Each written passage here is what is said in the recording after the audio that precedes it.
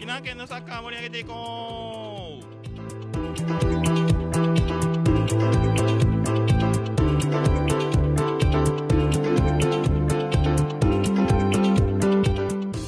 12月6日水曜日時刻は午後10時を回りました。皆さんこんばんは。沖縄県のサッカーを盛り上げていこう。パーソナリティのコマンドでございますよ。コマンドでございますよ。今週もですねゆるくおしゃべりしていきたいなと思いますよ。よろしくお願いいたします。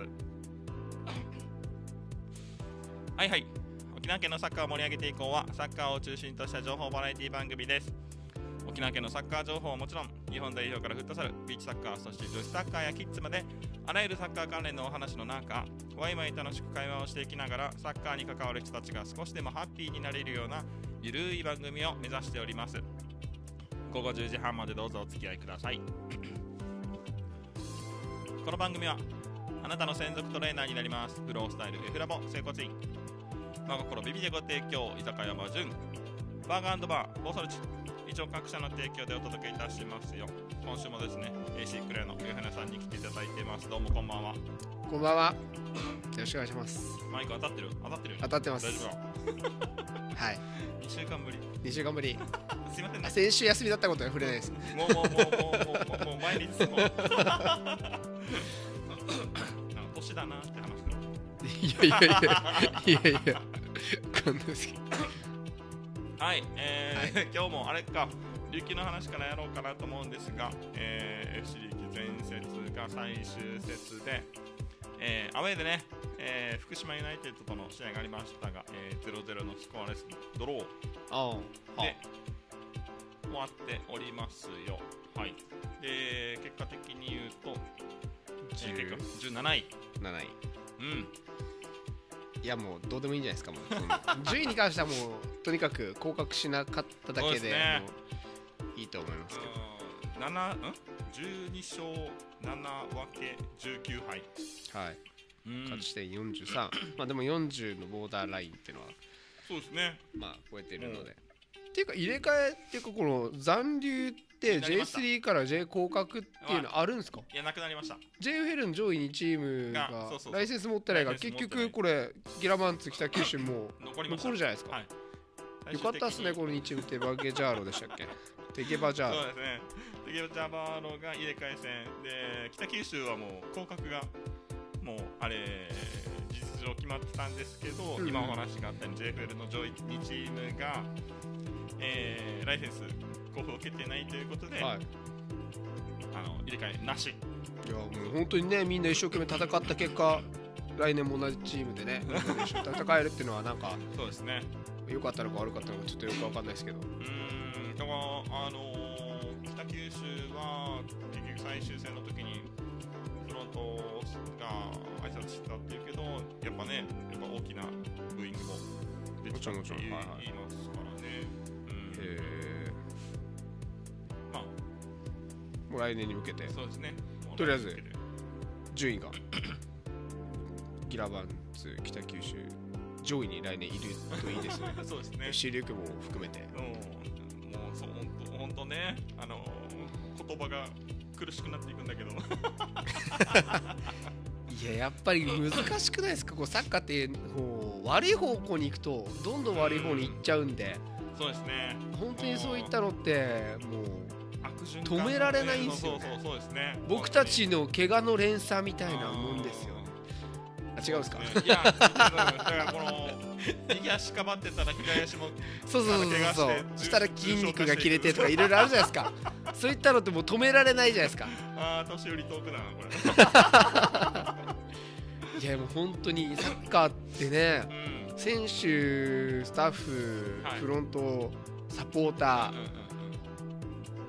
んーいろんなすれ違いが起こると難しい問題は。もうと止められなくなるっていうのはあるかもしれないですね。でもこれで今回降格なかったっていうのは本当せめても。の救いかも救いですよ。にそう。来年はいこの下位の順位にどのチームがいるかなんてわからないですよわかんないですよ。本当に。だから上にね今年うんいてその昇格できなかったカターレ富山から下ですねそうですね。みんな来年どうなってるかわからないですからねこうまあ安心をしない方がいいかなと思います愛媛が優勝ぶっちぎりで優勝っていうはい。予想を立ててた人も少ないと思うし、ああそうですね。もっと言えば鹿児島が2位で入るっていうのも本当に予想外だったと思いますけどね。うん。うん。でも鹿児島一回 FC 琉球と一緒に J2 上がってるじゃないですか。ですからね1年で落ちたじゃないですか。うん。なのでもう一回ねね。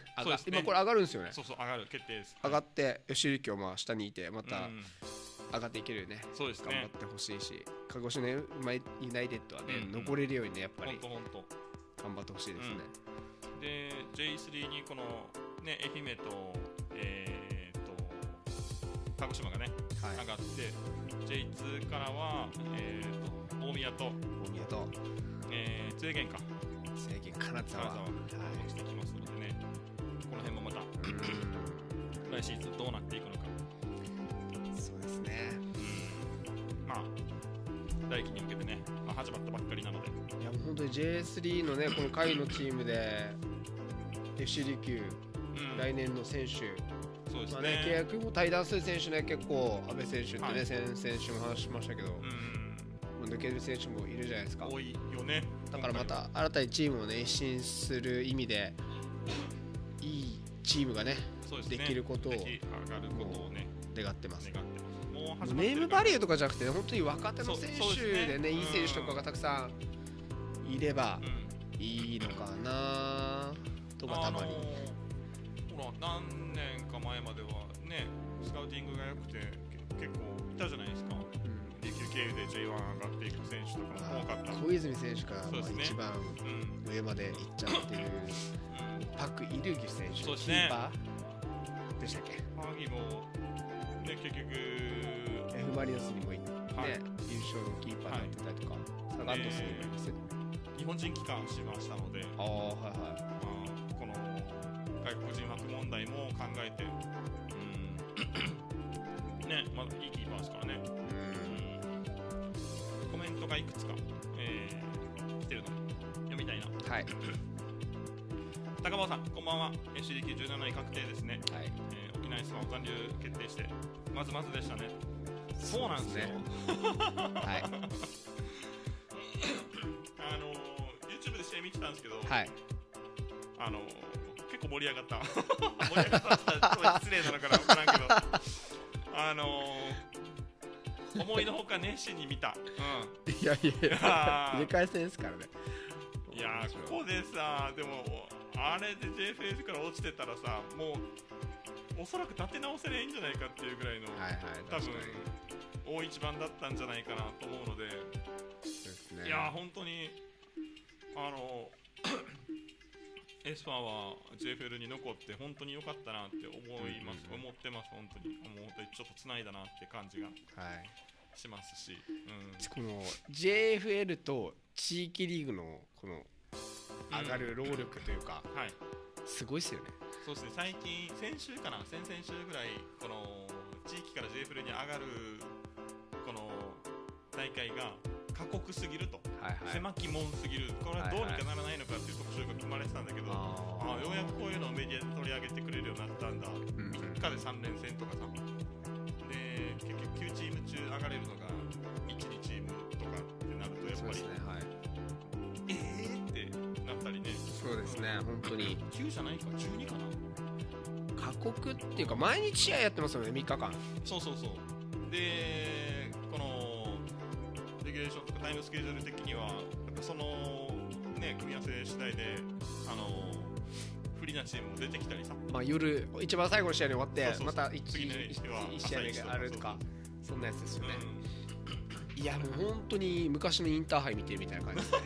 国見高校強いの走ってるからやね夏はみたいな感じ。あるじゃないですかあのインターハイの過酷な毎日やるみたいそうですね。あんな感じで夏は走るチームが勝ってね冬は市船とかなんかちょっとサッカーが上手なチームが勝つみたいないいイはい。メージがあったじゃないですか、はいありますね。ありましたよそれのなんか再来みたいな感じですね。うん本当に過酷だと思うのでこの辺はなんかどうにかねうまくスケジュールが取れないんですよね。そうですそうですね。ただそれだけですよね。スケジュールが取れないですそれも大きな問題だと思います。でもそれが嫌だったらもう目指さなきゃいいってだけの話なんですけどね。うん。もう仕方ないんでって言われたら改善するってね結構日程の問題がね大きいですからね。ね。リーグリーグリーグで天皇杯もあったりとかするじゃないですか例えば。せめてあー違うな。やっぱどんなだったのかな。なんか2つに分けるとか。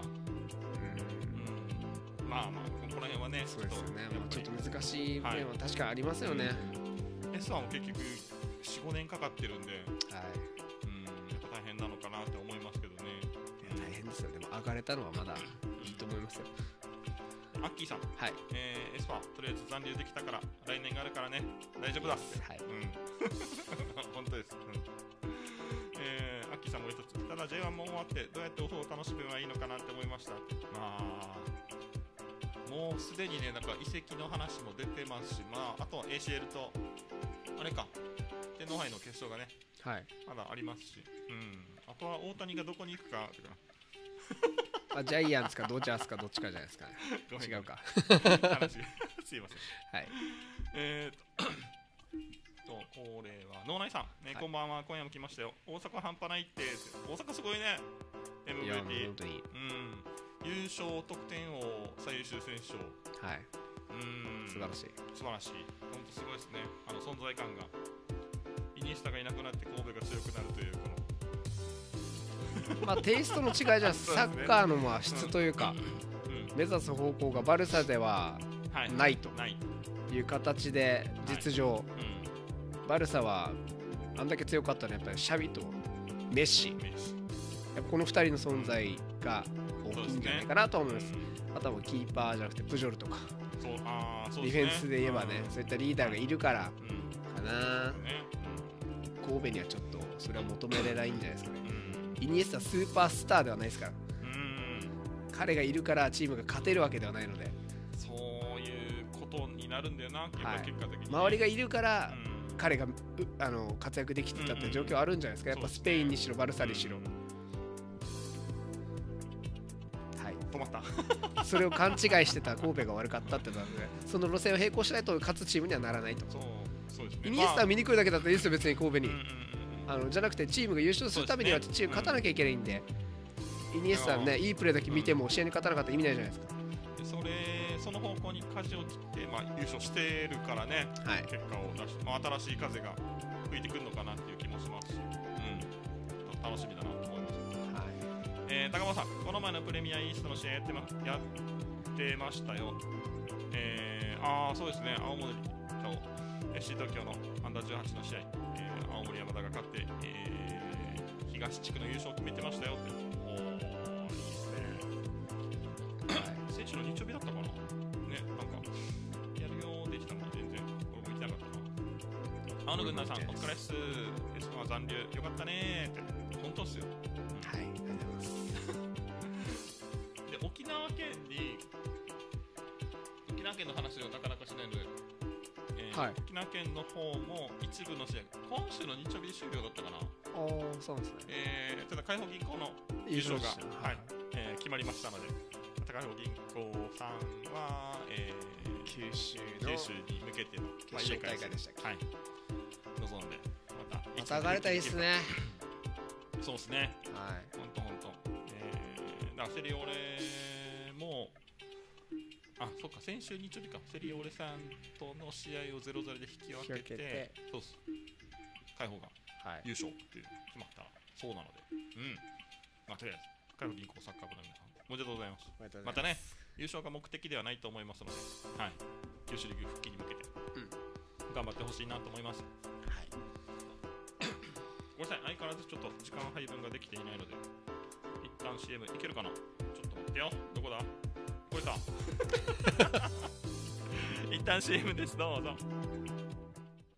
一人一人の状態に合わせて適切な施術を行うエフラボ接骨院パキポキなど痛みを伴う施術は行っておりません筋膜療法や骨盤矯正などの施術を行っておりますのでなかなか改善できないという方もぜひお問い合わせくださいエフラボ接骨院新鮮な魚介類や野菜を中心に真心美味でご提供。店内はぬくもりのある雰囲気になっており全ての席が掘りごたつ。6名様までの完全個室を一室完備。オープンキッチンでカウンター席もございます。王者の交番裏側居酒屋魔順握り寿司のテイクアウトも承っております。野菜たっぷり使ったボリューム満点のハンバーガー。一度食べたらもうやみつき。思い出したらよよだれが出てくる。宜野湾市大山国道58号沿いバーガーバーボアソルチはいはい後半もですね沖縄県のサッカー情報もおしゃべりしていきたいなと思いますがコメントから。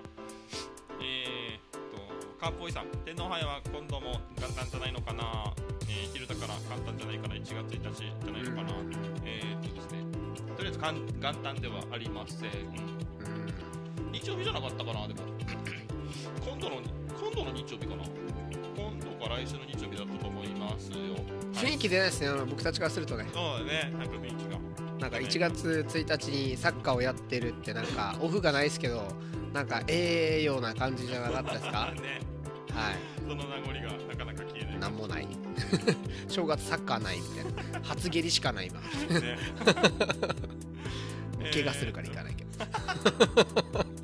中坊さん大宮 RG 社の広角も予想外でしたね。うん。まあ J3 で大宮が見られるという。えー、脳内さん JFL ホンダ FC は生涯アマチュア宣言。へえそうなんだ。えこれ超前からじゃないですか？あそうなの？でホンダ FC は上に上がる気ないですよもともと。いえー、そうなんだ。それはそれでまた面白いですね。やいろいろだからライセンスとか交付されるのにスタジアムとか作らないといけないじゃないですか。はいはいはい。そういったのが嫌なんで絶対上がらないっていうのはこれ昔からそうなんね、方針としてはずっと出てることじゃないですか。面白い。いや面白いですか？そうそうそうアマチュアで。はいはい。上がる気ないっすって。ずっと前から言ってました。えー、フリオデッカは J ライセンス申請されず寄ってきたやつは合格逃れたうん。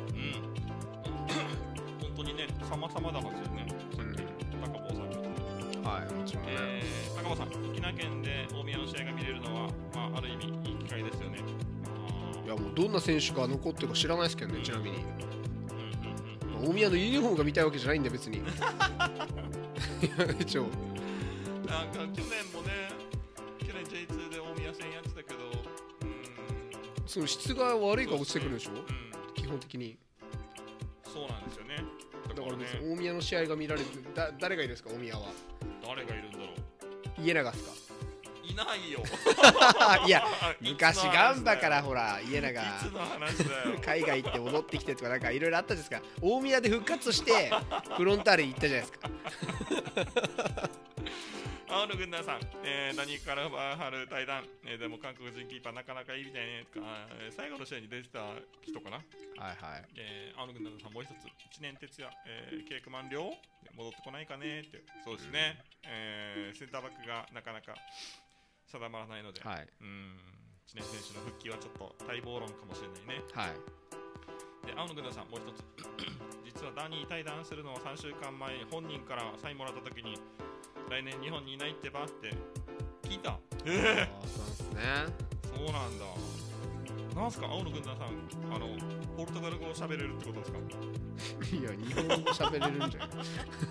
来年日本にいないってばダニーが ああそうなんだ。はい青野軍団さん高校の時国見と試合したことあるよ。5軍とでもデジ強かったって。国軍って言っても1年生とかじゃないですあかいや平山いたじゃないですか。えー、そうた平山壮太選手、はい。うん。高校1年生って沖縄来てたんですよ。え僕なんかやったんですよ。ー、ほうほうほうほ僕なんか4試合目ぐらいでやったんですよ。うはいはいはい。3対2で負けましたからね。いや本当に。何試合目やったんだろうっていうところに僕たち試合に行ったんですよ。え笑うしかないじゃないですかー、もう。ね あでも普通でしたよ。普通だった。はい。国見サッカーほらつなぐとかじゃないんで蹴ってくるじゃないですかずっと。あれをやってるフィジカルがすごいなと思いました。ね、青野さんも大谷はドジャースで決まりだな。いやいやわからないよ。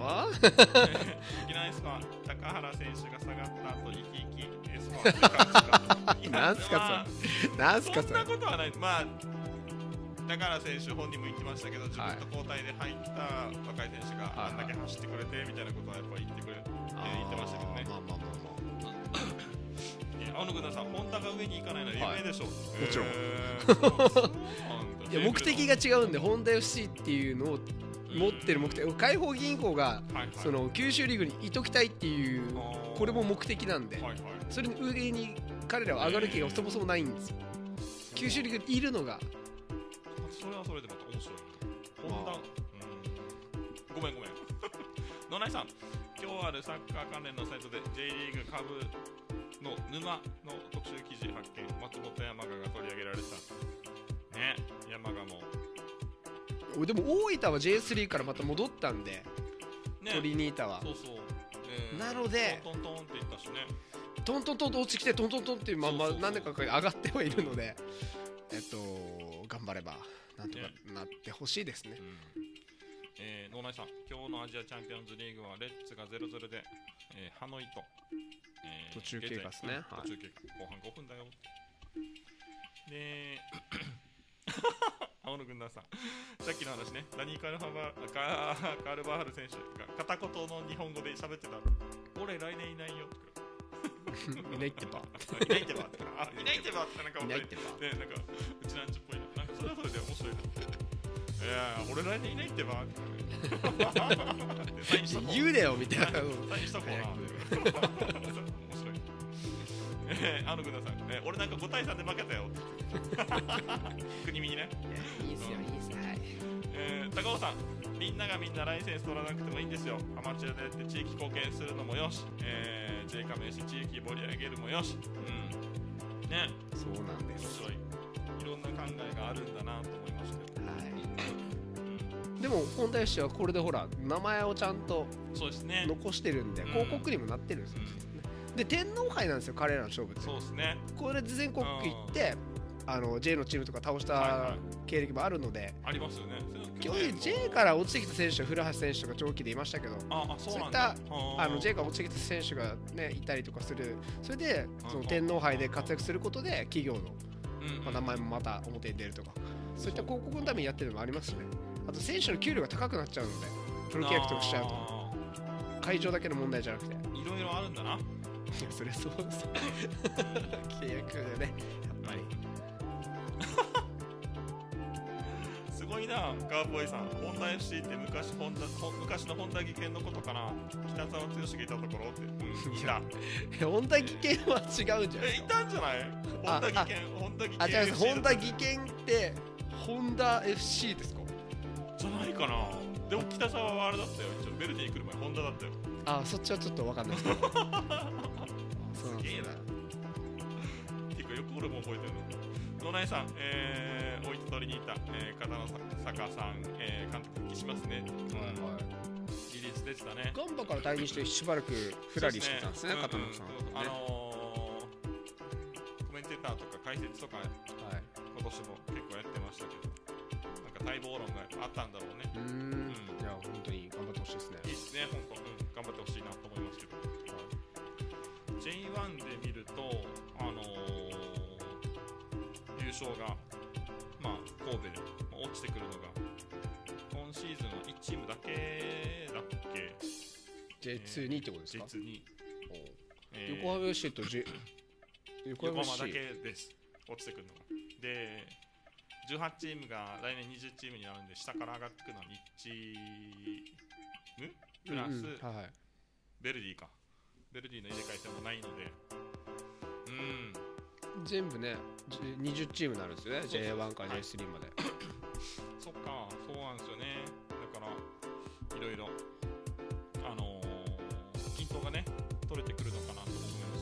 来シーズンもちょっとそれを考えると、えー試合数もねはい。まあ、増えてくるので、まあ、どうなっていくのかなっていうのもありますが、うん、ちょっと楽しみだなと思いますけど、えー、沖縄大好きさん、えーこんばんはって来てます。はい、チラってね。ありがとうございます。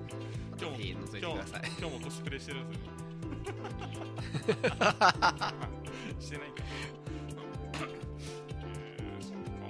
か。らね、いや、ちょっとコメントでも出てましたけども、シーズンが終わるので、はい。